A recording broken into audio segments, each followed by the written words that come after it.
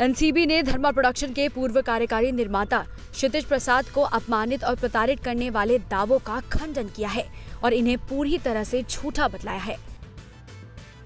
NCB ने क्षितिज को शनिवार को गिरफ़्तार किया था।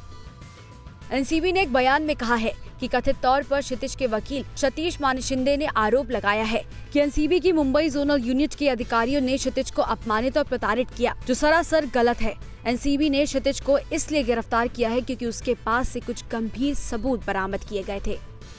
एनसीबी का बयान क्षितिज के वकील सतीश मानशिंदे के उस आरोप के बाद आया है, जिसमें उन्होंने कहा था कि क्षितिज पर पूछताछ के दौरान करण जौहर का नाम लेने के लिए दबाव डाला गया था।